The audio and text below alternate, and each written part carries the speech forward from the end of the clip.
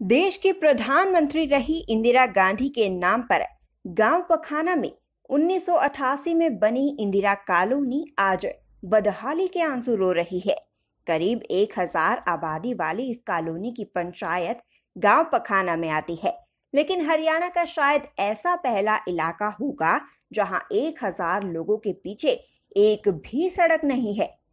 हालाँकि ये लोग मुख्यमंत्री मनोहर लाल खट्टर के बिजली अभियान में भी सहयोगी हैं और बकायदा मीटर बाहर लगवाकर बिजली के बिल भर रहे हैं, लेकिन कच्ची और उबड़ खाबड़ सड़कों पर दलदल और गड्ढों से भरे रास्ते और मुँह लपेटकर गली में गुजरती महिलाएँ और अपनी माँ को खो चुके चार मासूम बच्चे शायद प्रशासनिक लापरवाही का सबूत अपनी बेबसी से दे रहे हैं। इनका घर वाली बीमार होगी मेरी दो ढाई लाख रुपए लगाकर नहीं बैठेगा।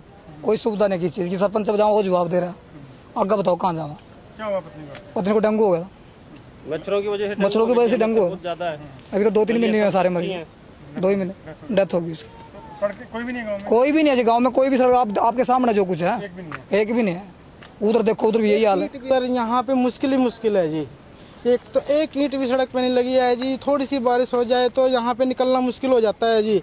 और ये भी नहीं है कि जो पैदल भी निकल जाए। जितनी दफ़ा भी बाहर निकलने हैं निकलते हैं फिर आके घर पैर धोना पड़ता है दो- दोपहर धोने के बाद में फिर लौटो।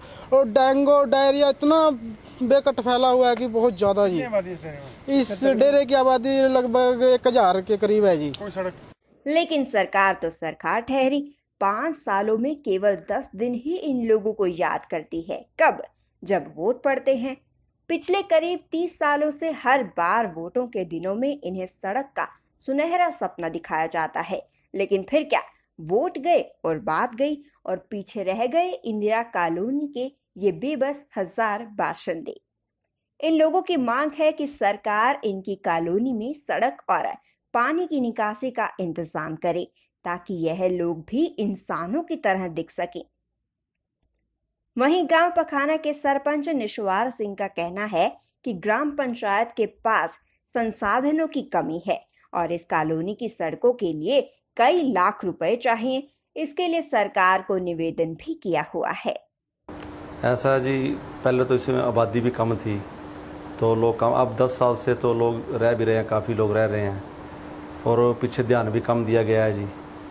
इस बार हमने जब हमारी पंचायत बनी है तो हमने सबसे पहले इस गाँव के लिए सरकार से डिमांड की थी और एस्टीमेट बनवा के भेज रखा है।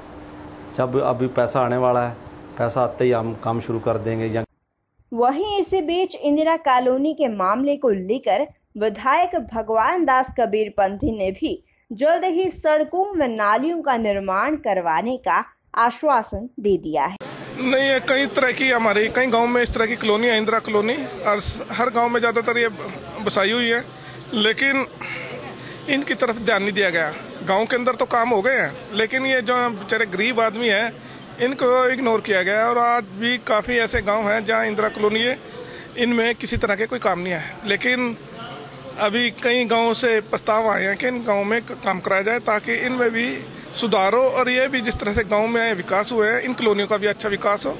तो हमारी प्राथमिकता रहेगी कि पहले, सबसे पहले इन कॉलोनियों में जिस तरह की दिखते हैं, चाहे पानी की समस्या, निकासी की या सड़कों की, जैसे पखाना, तखाना में, पखाना में है कि अपने पदाना में भी इस तरह की कॉलोनी सुल्तानपुर में भी है।